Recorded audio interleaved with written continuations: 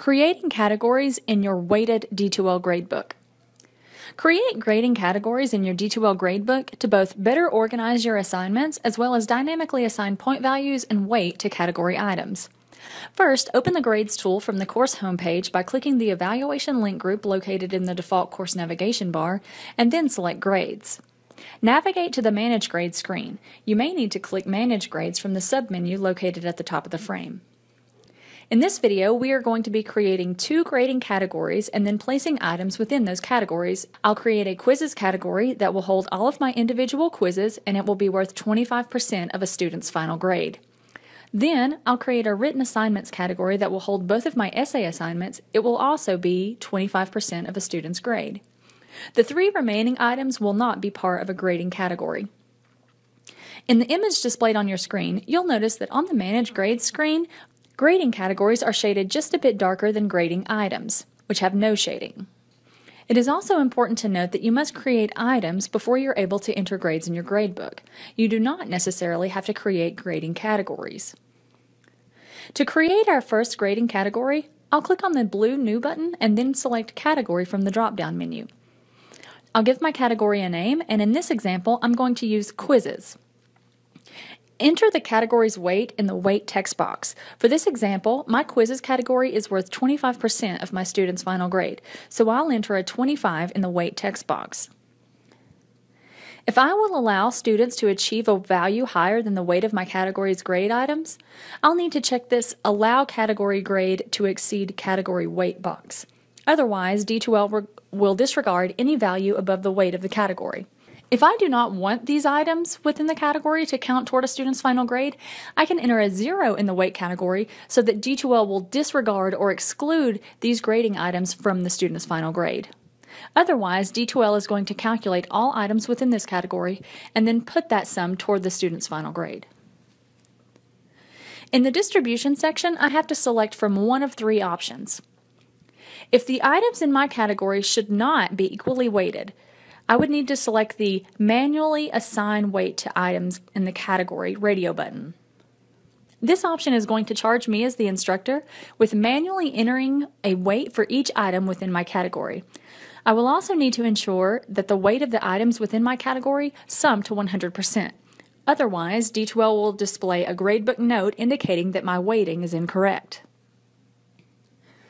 If I want D2L to dynamically assign a weight to each item within a category based on that item's max point value, I can select the Distribute Weights by Points across all items in the category option, and D2L will evaluate the max point value of each item and then assign a weight appropriately.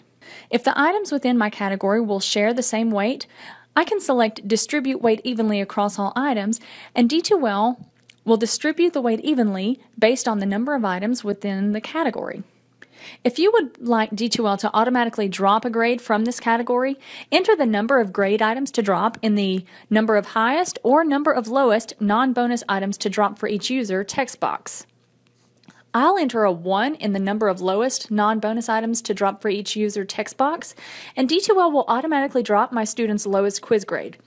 This option is only available if the Distribute Weight Evenly Across All Items radio button is selected. The display options settings will allow you to configure any alternate display settings for the category, but most often you will not have to make any changes to this section. I'll click Save and New to continue creating my second grading category, but if I were to click Save and Close, the category I created will be saved and I'll be returned back to the Manage Grades page. If I click Save here, the category will be saved, but I will remain on this category page. And if I click Cancel, any unsaved changes will be lost and I'll be returned back to the Manage Grades page.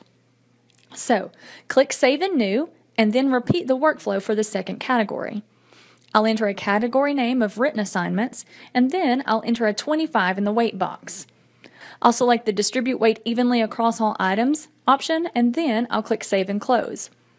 My category will be saved and I will be returned back to the Manage Grades page. Now that I have my categories created, I can assign grade items to them. And the easiest way to assign items to categories is by using the bulk edit option located at the top and at the bottom of the grading table. I'll select the Select All checkbox to select all items and categories within my gradebook. And then I'll click the Bulk Edit action link. The Bulk Edit page allows you to edit the name, the short name, the maximum point value, the weight, bonus, scheme, and category assignment for every item and category in your D2L gradebook. To assign items to a category, first locate an item in the table, and then within the category column on the far right hand side, select the appropriate category from the drop down menu. You'll need to perform this action for each item that you wish to assign to a category, and then once you've completed those category assignments, click Save to save your changes and then return back to the Manage Grades page.